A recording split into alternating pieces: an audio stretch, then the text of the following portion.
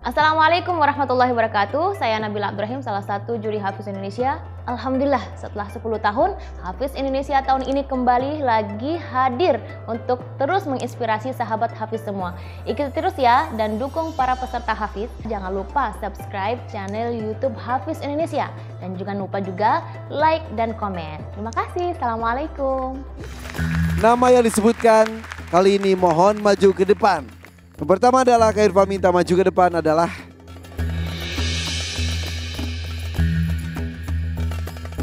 Hani.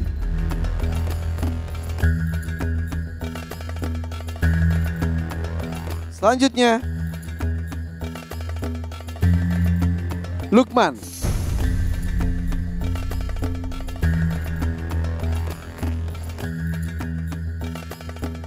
Haura.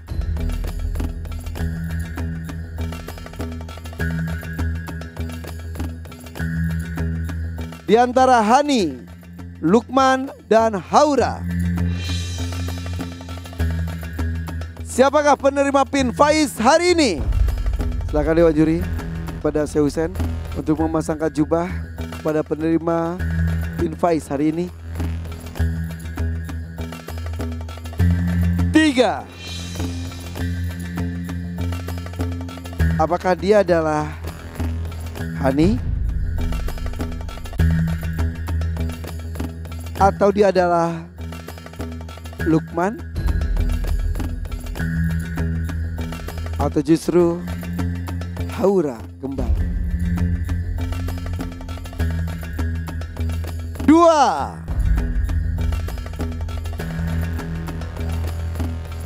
Dan penerima pin tersebut adalah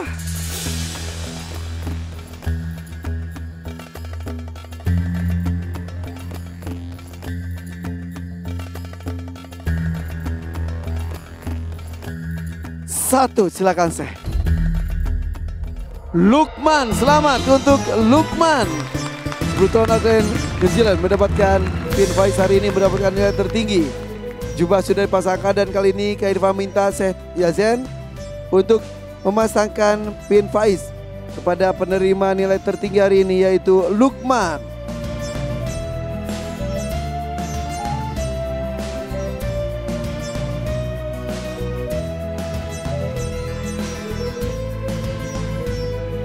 Selamat sekali lagi untuk Lukman, Auckland, New Zealand. Mendapatkan nilai tertinggi hari ini dan sudah disematkan pin Faiz dari Syekh Yazen. Terima kasih Syekh Yazen. Terima kasih kehadirannya juga. Selamat untuk Hani, Aura dan Lukman. Tiga peserta yang insya Allah dipastikan bisa menuju ke babak berikutnya, babak enam besar. Perjuangan luar biasa telah dilakukan oleh anak-anak kita, luar biasa sekali. Persaingan semakin ketat, sementara ada empat peserta lainnya yang belum tentu bisa masuk semuanya karena satu di antara mereka harus pulang. Dan ini dia hasilnya.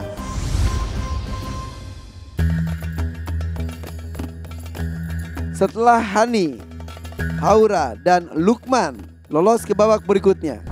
Kali ini Irfan akan memanggilkan nama-nama yang harus maju ke depan.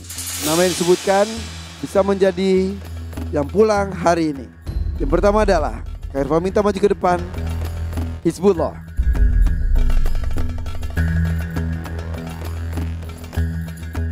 Selanjutnya Fahim. Dan untuk dua peserta lainnya selamat untuk Nadif dan Billy. Kalian aman.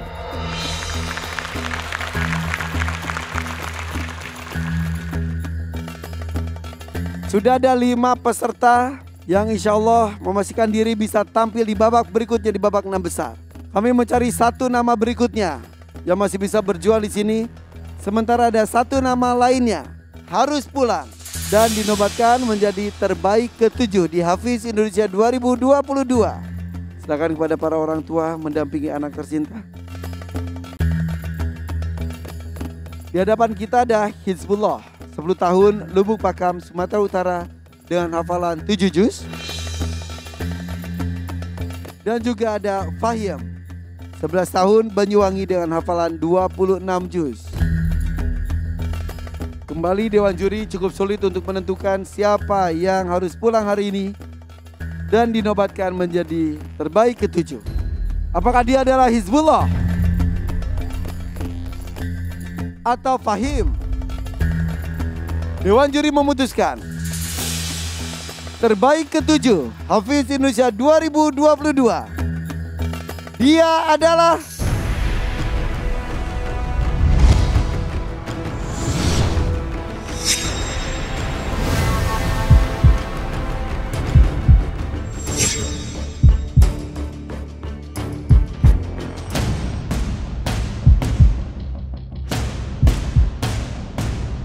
Fahim, kamu pulang.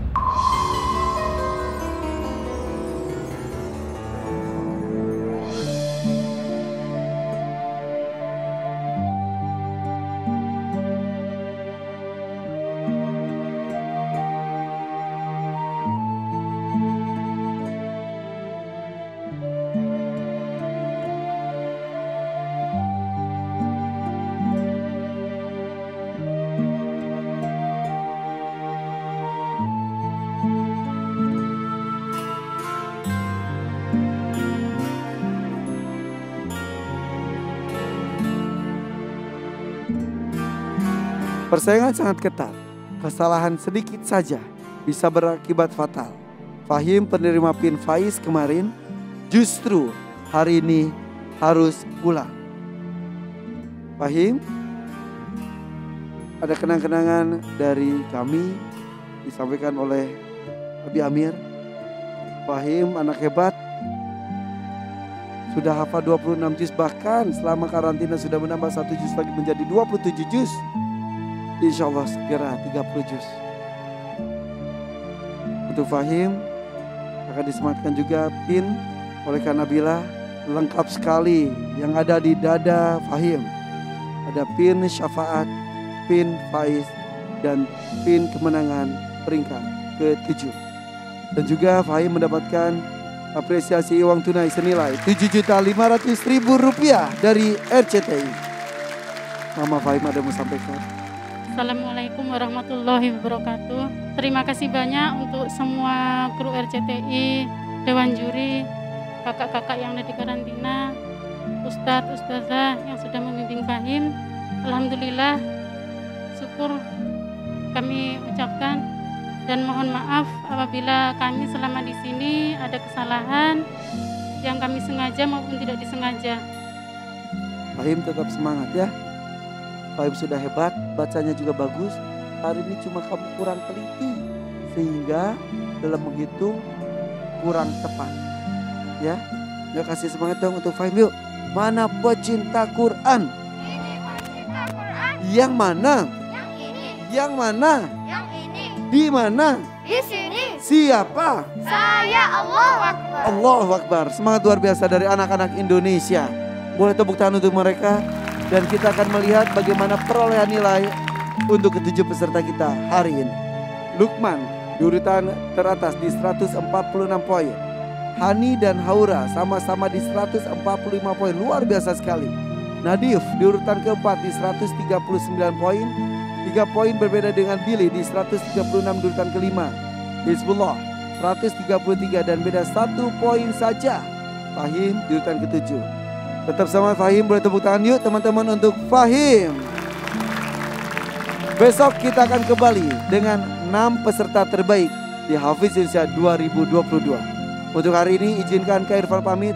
Wassalamualaikum warahmatullahi wabarakatuh.